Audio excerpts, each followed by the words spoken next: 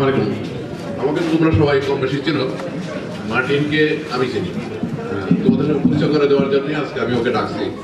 খুব ব্যস্ত মানুষ, ভীষণ ব্যস্ত, এবং সবচেয়ে বড় কথা সে একজন ডিপ্লোমা ইঞ্জিনিয়ার।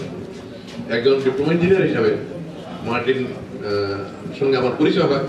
আমার সঙ্গে সে কাজ করার একটা সুযোগ হয়। সেই সুযোগে আমি দেখি যে ডিপ্লোমা ইঞ্জিনিয়ার মডেল বলতে যদি কিছু বোঝায় he is one of them সে খুব একটা সাকসেসফুল ইঞ্জিনিয়ার। ভীষণ সাকসেসফুল ওর কিন্তু মার্সিডিজ গাড়ি নেই। ও একটা কম দামি গাড়ি নিজে চালায়। ওর ওয়ার্কশপটা খুব ছোট। ওয়ার্কশপের ভিতরে মণিমুক্তাতে ভর্তি।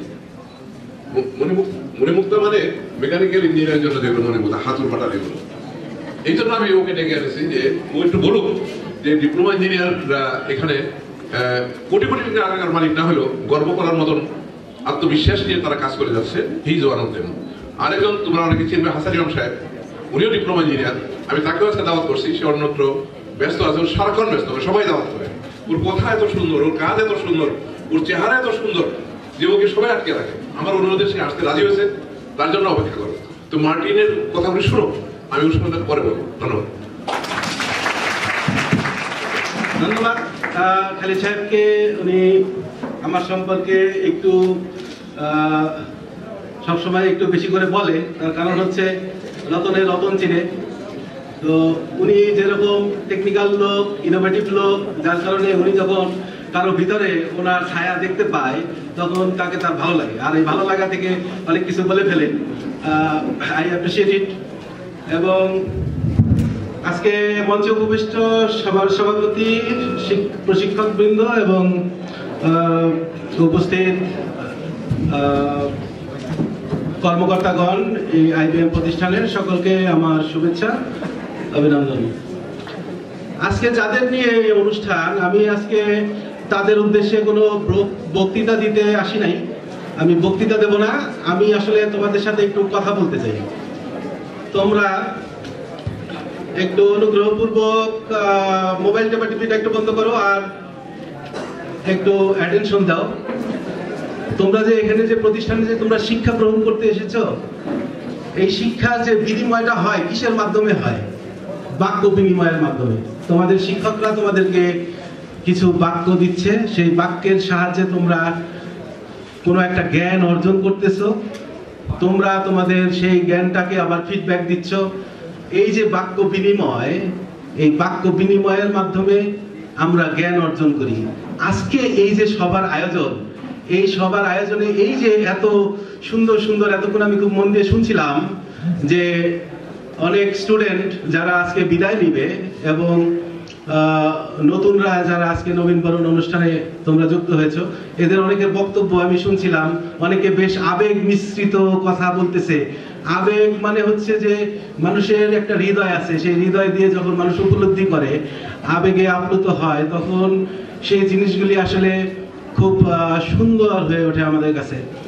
তো আজকে আমি তোমাদের সাথে আসলে বাক্য বিনিময় করব, কোনো বক্তৃতা দিব না। তোমাদের মধ্যে কেউ কি বলতে পারো যে গুরু কাকে বলে? শিক্ষক। তোমাদের প্রথম গুরুকে তোমাদের মা। তারপরে বাবা, তারপরে স্কুলের শিক্ষক মন্ডলী এরপরে এখন তোমরা এখান থেকে কি করছ? প্রশিক্ষণ নিচ্ছ। তো এই প্রশিক্ষণের মাধ্যমে তোমরা তোমাদেরকে কারিগরি দক্ষতায় দক্ষ করে গড়ে তুলছো। আমাদের জীবনে আমরা গুরুর মাধ্যমে শিক্ষা গ্রহণ করি। তোমরা এখানে যে পড়াশোনা করতেছো, যে ট্রেনিং নিচ্ছ, এখান থেকে হয়তো তোমরা একটা সার্টিফিকেট পাবে ইঞ্জিনিয়ার হিসাবে ডিপ্লোমা ইঞ্জিনিয়ারিং একটা সার্টিফিকেট তোমরা হয়তো পাবে। কিন্তু আসলে কিন্তু তোমরা ইঞ্জিনিয়ার এখনও হও নাই। তোমাদেরকে কর্মক্ষেত্রে ঢুকতে হবে। সেখানে যারা অভিজ্ঞ লোকজন থাকবে, যাদের তিরিশ বছর, চল্লিশ বছর এক্সপিরিয়েন্স তাদের সেই জ্ঞানটাকে যখন তোমরা তোমাদের ভিতরে নিবে, তখন তোমাদের সেই দক্ষতা তৈরি হবে এবং তখন তোমরা নিজেদেরকে ইঞ্জিনিয়ার বলে দাবি করতে পারবা। আর এই যে আমরা যে ইঞ্জিনিয়ারিং করি বা ইঞ্জিনিয়ারিং আমরা যে ট্রেনিং করছি, এই ইঞ্জিনিয়ার অর্থ কি তোমরা কেউ বলতে পারো? হ্যাঁ প্রকৌশলী। এটা হচ্ছে তোমরা তর্জমা করলা ইঞ্জিনিয়ারের তর্জমা। ইঞ্জিনিয়ার শব্দটা আসছে হলো একটা আহ, ভাষা থেকে যার অর্থ হলো চালাক। এই চালাক সেই চালাক না। আমরা চালাকি বলতে যেটা বুঝি সেই চালাকি এটা না। চালাকি একটা আছে না যে আমি ছোট মানুষকে আমার হাতের মধ্যে রেখে দেখাইলাম যে এটার ভিতরে কিছু একটা আছে। সে লাফালাফি করল, আমি হাতটা খুলে দিলাম, কিছু নাই। মানে আমি তার সাথে একটা চালাকি করলাম। এই চালাকি না। মানুষকে বোকা বানানোর জন্য অনেকে চালাকি করে, সেটা না। এই ইঞ্জিনিয়ারিংটা ইঞ্জিনিয়ারদেরকে চালাক বলা হয় এই কারণে যে তারা নিজের সাথে চালাকি করে, তারা তাদের কাজের সাথে চালাকি করে, তারা মেশিনের সাথে চালাকি করে, তারা ডিজাইনের সাথে চালাকি করে। এই যে তাদের চতুরতা, জ্ঞান, এইটাকে বোঝানো হয়েছে। তোমাদেরকে সেই জায়গায় পৌঁছাইতে হবে। এর জন্য প্রচুর সাধনার দরকার, পরিশ্রমের দরকার, ধৈর্যের দরকার। গুলশানে যখন ছিল, সেই প্রতিষ্ঠানে এরকম একটা অনুষ্ঠানে আমরা গিয়েছিলাম, আমি এবং খালিদ সাহেব। সেখানে আমরা একটু বক্তব্য দিয়েছিলাম। এর মধ্যে আমি তখন তাদেরকে নতুন প্রযুক্তি PLC automation CAD design three D design এগুলি নিয়ে তাদেরকে কিছু কথা বলেছিলাম। তো সেখান থেকে একটি ছেলে পাশ করে বের হয়ে যাওয়ার পরে সে এখন অটোমেশন পিএলসি প্রোগ্রামিং এগুলির উপরে সে তার নিজস্ব বিজনেস দাঁড় করিয়েছে। তার ওখানে অনেক লোকজন কাজ করে এবং সে একজন সফল ব্যবসায়ী বর্তমানে। এবং সে সবসময় বলে যে সে নাকি আমার কথা শোনার পরে সে অনুপ্রাণিত হয়ে এই কাজে সে মনোযোগী হয়েছে। এবং সেখান থেকে তার আজকের এই অবস্থা। তো তোমাদেরকে আমি যেটা বলতে চাচ্ছি যে আমি কিন্তু কিছু না। ওইখানে আমি যে কথাগুলি বলেছিলাম, যে বাক্য তার ভিতরে প্রবেশ করেছিল, সেইটাকে সে তার অন্তরে ধারণ করেছে এবং সেই অনুযায়ী সে কাজ করেছে। যার কারণে আজকে সে সেই জায়গায় পৌঁছেছে। পুরো ক্রেডিটটা হচ্ছে তার, ওইখানে আমার কোনো ভূমিকা নাই। তো এইখানে আমরা যারা কথা বলতেছি বা বাক্য আদান প্রদান করতেছি। এর ভিতর থেকে কখন কোন বাক্যটা তোমার ভিতরে ওইভাবে ঢুকে যাবে সেটা তুমি জানো না। ধরো, এই বিল্ডিংটা, উঁচু একটা বিল্ডিং এখানে রং করতে হবে। এখন আগের দিনে ওই রানাররা এক ধরনের বাঁশের কাঠির উপরে পাড়া দিয়ে অনেক উঁচু করে তারা কি করতো, হাঁটতো। এতে করে কি হয়, অনেক লম্বা লম্বা স্ট্রোক দেওয়া যায়। তো এটা খুব স্বাভাবিকভাবে আমরা যেরকম পা দিয়ে মাটিতে হাঁটি, ওইটার উপরে দাঁড়িয়ে কিন্তু একটা লোক হাঁটতে পারে। তো যদি একটা রং মিস্ত্রি ওরকম একটা লাঠির উপরে দাঁড়িয়ে, সে রং করে যায়, আর একজন যদি লেডারের ভিতরে বারবার উঠতেছে, নামতেছে উঠতেছে, নামতেছে, তাহলে কে তাড়াতাড়ি করবে কাজটা? যে ওই যে লাঠির উপরে দাঁড়ায়, সে নর্মাল ভাবে সে কাজ করে যাচ্ছে, সে কিন্তু স্মার্টলি কাজটা করল। সে কিন্তু খুব দ্রুত কাজটা করে ফেলতে পারবে। যারা আমরা সাধারণ জ্ঞানে কাজগুলি করি, তাদের চিন্তা ভাবনা একরকম। আর যারা একটু ক্রিয়েটিভিটি নিয়ে একটু ক্রিয়েটিভভাবে কোনো কিছু করতে যায়, তারা কিন্তু ওই কাজটা খুব সুন্দরভাবে করতে পারে এবং তারা অন্যকে আকৃষ্ট করতে পারে। এই জন্য আমাদের কাজের ভিতরে ক্রিয়েটিভিটি থাকতে হবে। আমরা একটু অন্যদের থেকে আলাদা হব, একটু অন্য আঙ্গিকে, নিজেকে যেন আমরা অন্যদের থেকে একটু আলাদা করতে পারি। সবাই যেটা করে, আমরা সেটা যদি করি, তাহলে আর আমাদেরকে কেউ আলাদা করে চিনবে না। আমাদের অনেক সময় বিভিন্ন ফ্যাসিলিটিস এর সমস্যায় আমরা পড়ি। অনেক সময় অনেকে বলে যে, আমার তো এটা নাই, আমার ওইটা নাই, আমি কীভাবে করব? এই চিন্তা ভাবনা করা যাবে না। আমার কি আছে? সেটা দিয়ে আমি কীভাবে করব? সেই চিন্তাটা যদি আমরা করি, তাহলে আমরা অনেক কঠিন কাজ খুব অল্প পরিসরে করতে পারি। আমাদের দেশে যারা ড্রাইভার গাড়ি চালায় আর আমেরিকাতে যে ড্রাইভার গাড়ি চালায়, এদের মধ্যে পার্থক্য কি জানো? ওই আমেরিকার ড্রাইভার হচ্ছে লাল বাতি, সবুজ বাতি, হলুদ বাতি। এইটুক বুঝলেই চলে। ওর আর এর বেশি কিছু জানা লাগে না। কিন্তু আমাদের দেশে যে ড্রাইভার গাড়ি চালায়, তার মিনিটে দুইশো ক্যালকুলেশন করতে হয়। কোনটা গাড়ির সামনে লাভ দিয়ে পড়বে, সে জানে না। রিক্সা একটা ঢুকাই দিল হ্যাঁ? তো এই সমস্ত কারণে কি হয়? আমাদের দেশের ড্রাইভারদের এক্সপিরিয়েন্স ওদের থেকে অনেক বেশি। তার কারণ সে সমস্যার মধ্যে দিয়ে যাচ্ছে। তো তুমি যদি তোমার সমস্যাকে সমস্যা মনে করো, তাহলে তুমি আগাইতে পারবে না।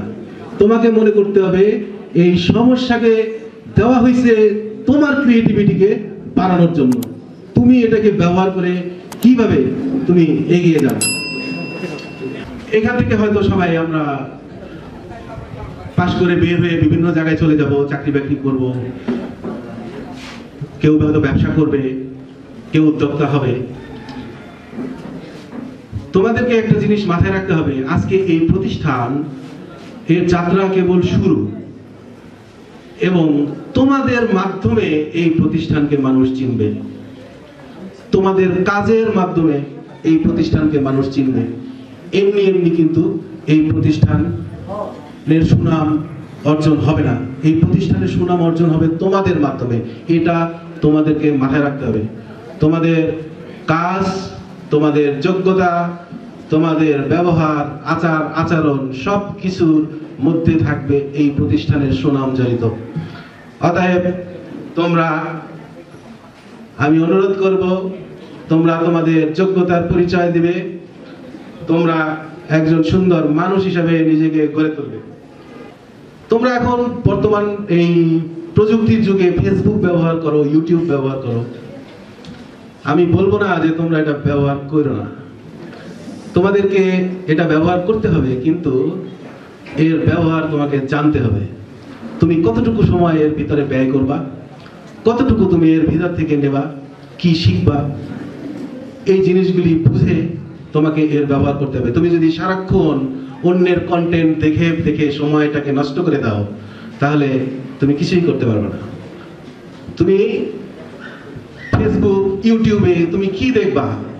তুমি যা হতে চাও, তুমি যা করতে চাও, সেই জিনিসগুলি যখন তুমি দেখবা, সেটাকে যখন প্র্যাকটিস করবা, তখন এই যে যারা ইউটিউব তৈরি করছে, যারা ফেসবুক তৈরি করছে, এরা এমন সব অ্যালগারিদম করে রাখছে সেখানে যে তুমি কি চাও, সে সেটা জানে।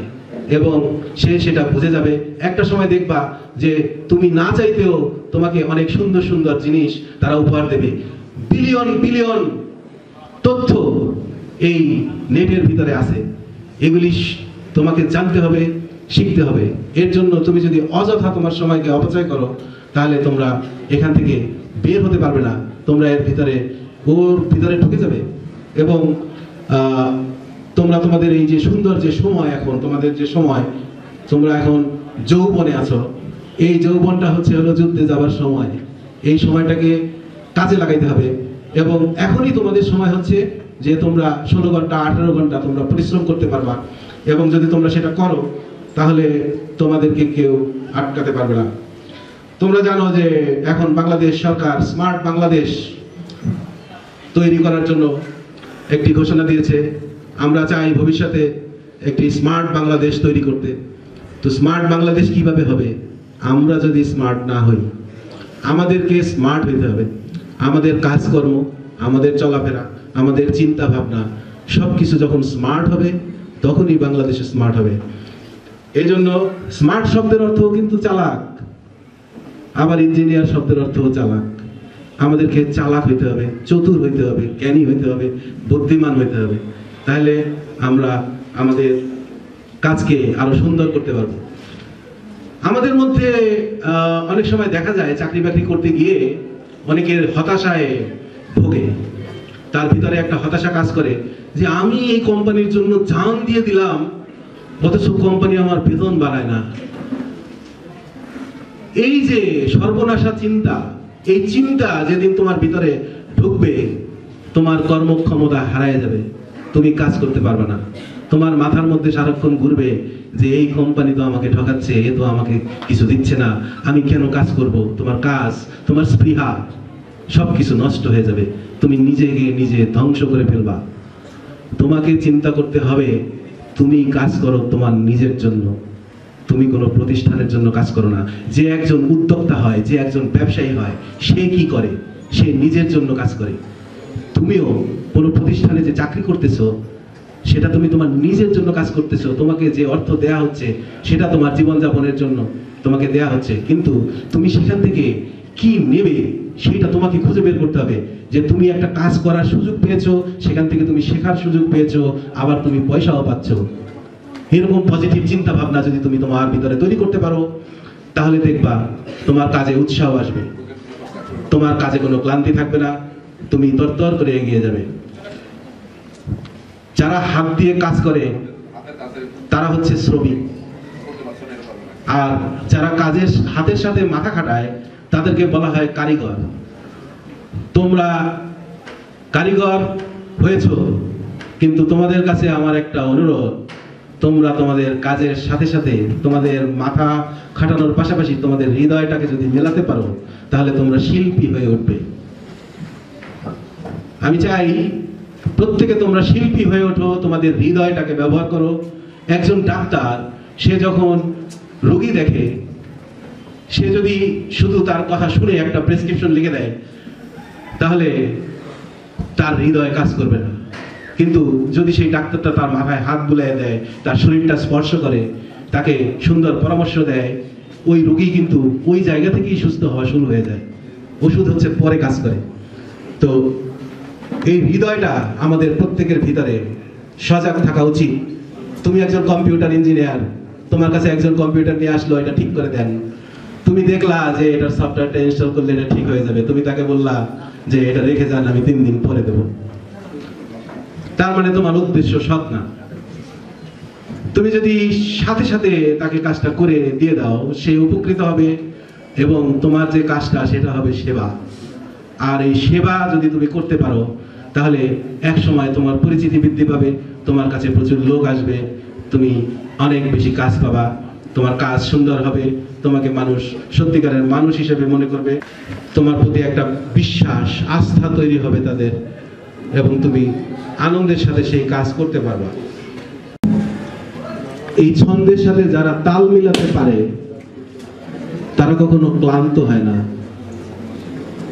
তোমার তোমরা যে এখানে ট্রেনিং করতে আসছো, এই যে কেউ হয়তো কম্পিউটার কেউ সিভিল কেউ ইলেকট্রিক্যাল মেকানিক্যাল বিভিন্ন সাবজেক্ট নিয়ে তোমরা পড়াশোনা করতেছো, এই সাবজেক্ট নিয়ে কাজ করতে তোমাদের কি ভালো লাগে? যদি মনে করো যে এই কাজটা করতে তোমার আনন্দ হয়, এই কাজে তুমি আনন্দিত হও তোমার ভিতরে একটা সৃষ্টি সুখের উল্লাস তৈরি হয়, তাহলে আমি বলতে পারি পৃথিবীর অন্য কোনো আনন্দ এমনকি তোমার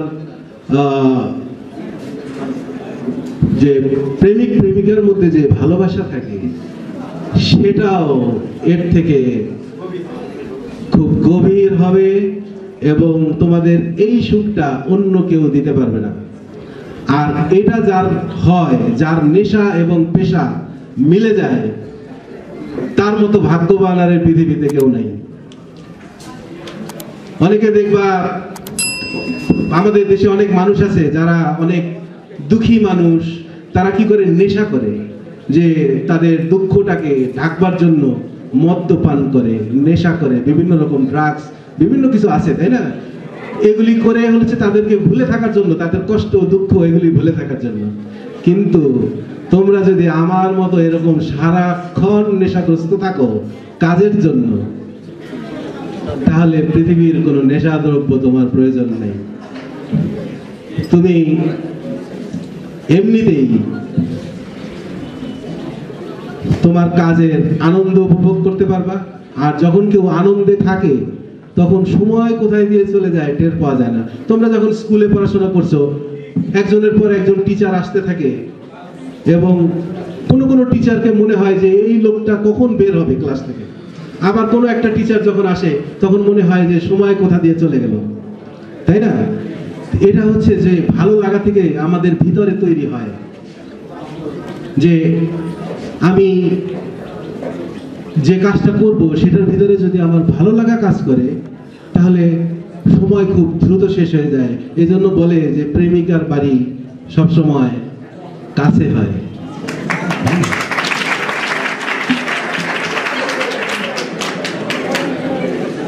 তোমাদেরকে আমি এবার আর একটা স্তরে নিয়ে যাব।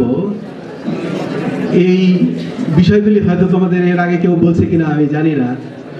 তোমরা কি আমাকে দেখতে পাচ্ছ?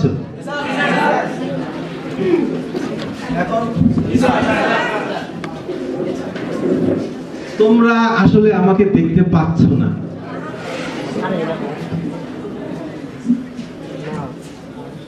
এই যে এটা আমার মোবাইল আমাকে যদি কেউ জিজ্ঞাসা করে এই মোবাইলটা কার, আমি কি বলব? আমার মোবাইল এই হাত টাকার আমার। এই মাথা আমার। হ্যাঁ চশমা আমার। এই শরীরটা কার? আমার। তাহলে আমিটা কে? এই যে আমি যে কথা বলতেছি, তোমরা আমাকে শুনতে পাচ্ছ? কিন্তু আমাকে তোমরা দেখতে পাচ্ছ না। আমার শরীরটাকে তোমরা দেখতে পাচ্ছ। আমি যদি এখন মনে করো যে পৃথিবী থেকে চলে যাই, আমার শরীরটা এখানে পড়ে থাকবে। তখন তোমরা কি বলব এটাকে? লাশ। মার্টিন অধিকারীর লাশ। মার্টিন অধিকারী এখানে নাই। মার্টিন অধিকারী অন্য এক জায়গায় চলে গেছে। তার লাশটা এখানে পড়েছে। তাইলে এই যে তোমরা যে এখন বললা যে তোমরা আমাকে দেখতে পাচ্ছ আসলে কিন্তু তোমরা আমাকে দেখতে পাচ্ছ না। তাই না? এই জায়গায় হচ্ছে ইঞ্জিনিয়ারিং ইঞ্জিনিয়ারিংটা এই জায়গায়। অন্যরা যেটা দেখতে পাচ্ছে না, তোমাকে সেটা দেখতে হবে। তাইলে এই যে শরীরটা, এই শরীর তোমাদেরও সবার একটা করে শরীর আছে। এই শরীরের ভিতরে তুমি কি তোমার এখানে আছো মাথায়? না এখানে আছো, না কপালের মধ্যে আছো, কোন জায়গায় আছে? এইটা তোমাকে খুঁজে বের করতে হবে। তুমি আসলে কোথায়? তোমার শরীরের কোন অংশে তুমি বাস করো? আমাদের এই যে শরীর, এটাকে আমরা কি করি? ছোটবেলা জন্মগ্রহণ করার পর থেকে গোসল করি, পরিষ্কার রাখি, সুন্দর সুন্দর পোশাক পরি। কেন করি? শরীরটাকে সুস্থ রাখার জন্য। ভালো থাকার জন্য। কিন্তু আমাদের এই যে ভিতরে যে আমিটা, আমাদের ভিতরে যে আত্মা, এর শুদ্ধতার দরকার আছে, একে সুন্দর করার দরকার আছে, একে গোসল করানোর দরকার আছে, এর যত্ন নেবারও দরকার আছে। এটা যদি করতে পারো, তাহলে দেখবা পৃথিবীটা অনেক সহজ। আর কখনো তোমরা এটা মনে করবে না যে আমার চাকরি কবে হবে? টাকা নাই পকেটে টাকা কবে আসবে? ব্যবসা হবে কিনা? চাকরি হবে কিনা? টাকা আসবে কিনা? এইগুলি চিন্তা করে কি তুমি কিছু করতে পারবা? তুমি এখন বেঁচে আছো? বেঁচে থাকবা কিনা আগামী এক ঘণ্টা পরে? সেটা তুমি জানো না। তাহলে এই যে টাকা পয়সা আসবে কিনা, চাকরি হবে কিনা, ব্যবসা হবে কিনা, এই সব কিছু এগুলি আমাদের হাতে না, এগুলি স্রষ্টার হাতে, প্রকৃতির হাতে। এই বিষয়ে আমাদের কোনো হাত নাই। আমাদের শুধু একটাই কাজ। আমরা একটা কাজ করতে পারি, সেটা হচ্ছে আমরা আমাদের কাজকে সুন্দর করতে পারি, আমাদের কাজের প্রতি আমরা যত্নশীল হতে পারি। এর বেশি কিছু আমাদের দ্বারা সম্ভব না। আর এইভাবে যদি তোমরা চিন্তা করতে শিখে যাও একবার, তাহলে তোমাদের কেউ আটকাইতে পারবে না। তোমাদের প্রত্যেকটা কাজ, তোমাদের যত বাধা, বিপত্তি, ঝড় ঝন্টা যাই আসুক না কেন, দেখবা তোমরা উতরে গেছো। কারণ আমরা এই সব আজে বাজে দুশ্চিন্তা করে আমাদের জীবনকে আমরা নষ্ট করি। খালি সাহেব সুন্দর সুন্দর অনেকগুলি কথা বলেছে। তারপরেও আমি একটু তোমাদেরকে বলি, আমি যখন ক্লাস এইটে পড়ি, তখন একটা থ্রি সিলিন্ডার রাস্টন ইঞ্জিনের এ টু জেড টোটাল কাজ আমি জানি। আমি তখন খুব ছোট, ক্লাস এইটে পড়ি। আমার বাবা ছিলেন মেকানিক্যাল ফোরম্যান আমি তার সাথে ওয়ার্কশপে যেতাম। ওই কালির গন্ধ, লোহা লক্ষ টোকাইয়া আমরা খেলতাম। এইভাবে খেলতে খেলতে আমি ডিজেল ইঞ্জিনের এ টু জেড টোটাল কাজ আমার বাবার মুখে মুখে শুনে শুনে এবং তার সাথে কাজ করে করে শিখে ফেলেছি। এখন আমি যদি সেখান থেকে ক্যালকুলেশন করি, আমার এক্সপিরিয়েন্স কত, তাহলে এটা মানুষ হাসবে। কিন্তু আমি যখন ট্রেনিং করে পাশ করে বের হয়ে আমার কর্মজীবন শুরু করেছি। সেখান থেকে হিসাব করলে আমার এই মেকানিক্যাল ইঞ্জিনিয়ারিং জগতে কাজের এক্সপিরিয়েন্স ছত্রিশ বছর।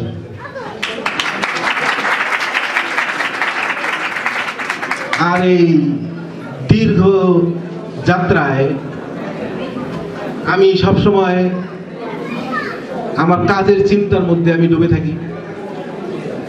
আমি আমার মেশিন ডিজাইন করি, সেই মেশিন তৈরি করি।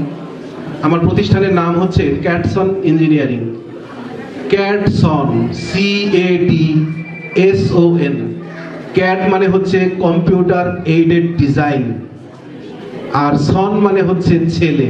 তোমরা জানো এস ও এন সন, ছেলে। তো আমি যখন ক্যাট ডিজাইন করি, সেখান থেকে যখন কোনো মেশিনের জন্ম হয়, সেটা আমার সন্তানের মতো। তাই আমার প্রতিষ্ঠানের নাম আমি দিয়েছি ক্যাটসন। কম্পিউটার এইডেড ডিজাইন থেকে যখন একটা মেশিন তৈরি হয়, সেটা আমার সন্তানের মতো আমি তার যত্ন করি। যেখানেই দেই না কেন খোঁজ খবর রাখি। আমার ক্লায়েন্ট খুশি, আমিও খুশি। আর এই সমস্ত কারণে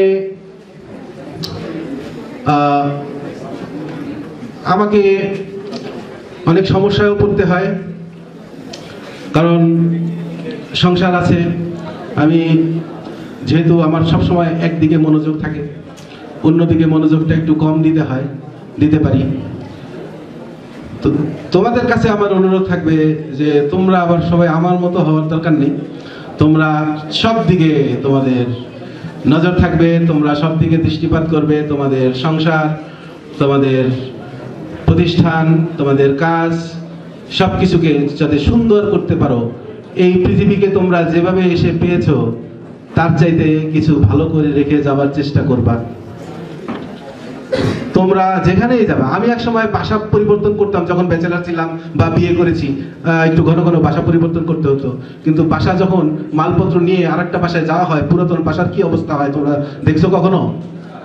কাগজের টুকরা, ধুলাবালি, বিভিন্ন কিছু থাকে, আমি সবসময় ওইটা ঝাড়ু দিয়ে পরিষ্কার করে তারপরে যেতাম। তার কারণ হচ্ছে যে আরেকটা লোক যখন ওখানে আসবে, সে যেন তোমার ময়লা পরিষ্কার করতে না হয়। তুমি এই পৃথিবীকে যেভাবে পেয়েছ, তার থেকে ভালো কিছু করে রেখে যেতে চেষ্টা করবা, যাতে তোমার পরবর্তী প্রজন্ম এসে সেটা ভোগ করতে পারে, ব্যবহার করতে পারে। তাদেরকে যেন কষ্ট করতে না হয়। আর তুমি যখন তোমার যখন মৃত্যু সময় চলে আসবে, তখন তুমি খুব শান্তিতে মৃত্যুবরণ করতে পারবা।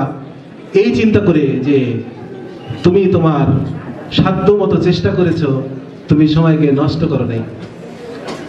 আজকে আমি তোমাদের সকলের সুস্বাস্থ্য ও উন্নতি কামনা করি।